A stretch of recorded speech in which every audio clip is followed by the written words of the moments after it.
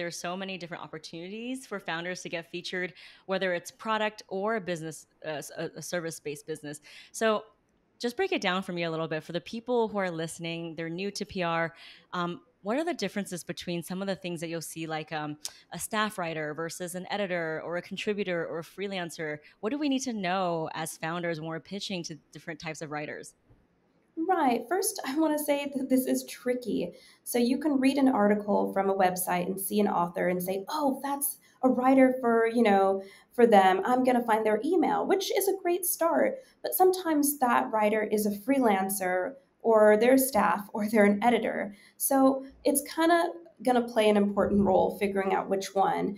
I worked as a freelancer for quite some time and I know that even when I love a story, sometimes I can't cover it even after pitching to a few different places because as a freelancer, you're not staffed. You know, you're not emailing somebody that actually works for that publication. So when an editor sees them pitch, they're kind of like, mm, I'll get a staff writer to cover it. and so that freelancer might get bumped for someone else or something else, you know, for a different topic. Whereas if you pitch a staff writer, then they might have a little bit more influence because they're on the payroll and they can kind of say, hey, to their editor that they work with every day, I would like to cover this. And that kind of relationship will continue. Not to knock freelancers, because I'll tell you one thing we defy odds. Um, so sometimes if we're really passionate and we can pitch to a bunch of outlets, that staff writer can only pitch to their outlet.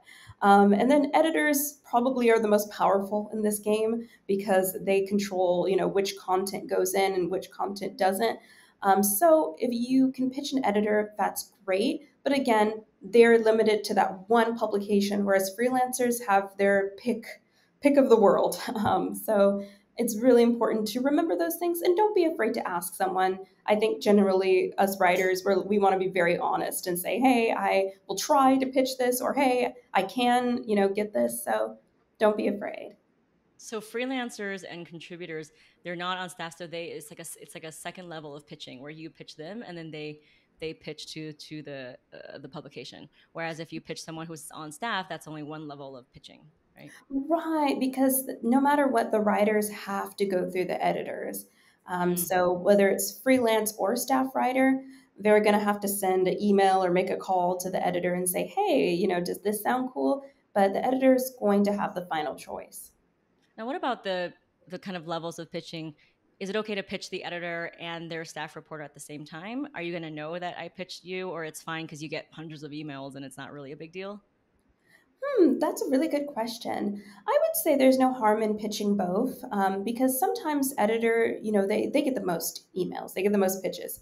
So editors are overwhelmed. So even if they end up loving loving your product or a pitch, they might completely miss it. Whereas staff writer, they might not have as many pitches. So they're like, oh, I found this. I'm going to bring it to my editor. And then editor can either say, oh, I like this, or they might even look back in their emails and say, oh, I glanced at this and I almost missed it. So um, go ahead and, and do both. I would say, you know, don't get carried away. Like if you find lots of emails from one publication, just limit it to maybe three at the most, just because you don't, you know, that might be a little bit hounding for people, but uh, I think that's safe to say.